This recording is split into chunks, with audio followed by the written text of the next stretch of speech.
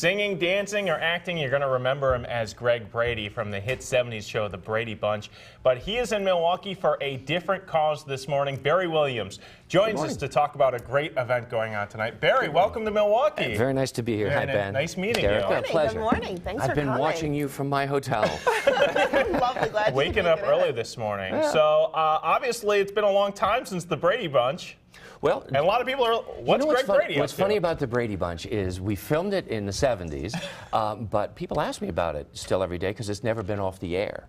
So, Right. so I'm reminded about it quite a bit. You still get recognized as, uh, Well, if I don't, and I'm feeling a little low and like my ego needs a boost, I, I break into the theme song, and then that helps. Well, you span Da, da, da, da. generations, which is good. Yes. That's well, awesome. especially for what I'm doing now. So talk to us about that. What's going on tonight? Well, tonight is the Grand Slam Charity Jam, and uh, it's a really wonderful cause. over and at Potawatomi. at Potawatomi. I'm going to host it, and there's a, there's a, there's a, all kinds of activities. It's a, its own variety show. There'll be a, uh, an auction. Uh, we have entertainment. Um, Phil Vassar's going to come in and Oh, sing, cool. and Danny Gokey is there, and, and several other acts. So there'll be country acts and some pop acts and comedy, and and uh, I get to kind of kind of um, anchor the whole thing, like you're doing here on the show. That's great. Right, You're right. telling us you live full time in Branson, Missouri. It's like the Las Vegas of the Midwest, and uh, getting ready to start a new show. The, huh? Lo- the, the, uh, the, the more reasonable Las Vegas. I, I call it the Las Vegas uh, without the gambling, the sex, and the, and the drinking. All right. It's, it's, it's family. It's a, a very, very, uh, it's a lot of, it's a family resort.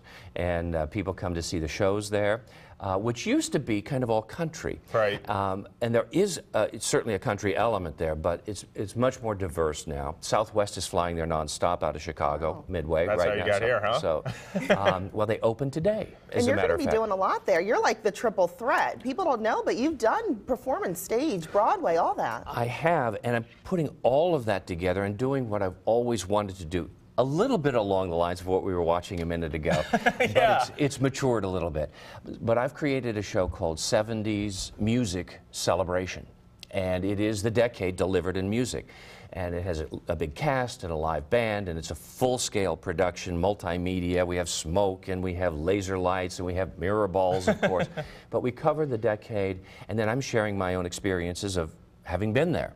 So instead of just like singing like Rod Stewart's "Do You Think I'm Sexy," I said, "Well, yeah, I was hanging with Rod back, and it was just before the song broke, and he didn't know where it was going to go, and he felt a little uncomfortable about doing it, but he went out there and killed it, and then the song took off, you know, that kind of Yeah. thing. So we can uh, provide a little bit uh, of the uh, education of the decade as well and how it's impacted us today. So Wonderful. very it's going excited to be a great it. show. But before we wrap up, just quickly tell us about the uh, cause tonight. It's benefiting Camp Hometown Heroes, correct? Camp Hometown Heroes, and what that is um, uh, is celebrating are the uh, children and younger siblings of fallen heroes. And so the money will be uh, goes goes there. It's it's a well attended event, and uh, uh, uh, I'm glad to say that's I think it's sold out, and uh, so I'm very proud to be great. a part of it. Wonderful. Any Brady uh, reunions in the future? Just I just had dinner with whom you will know as Cindy and Bobby and Peter Wow. and Jan.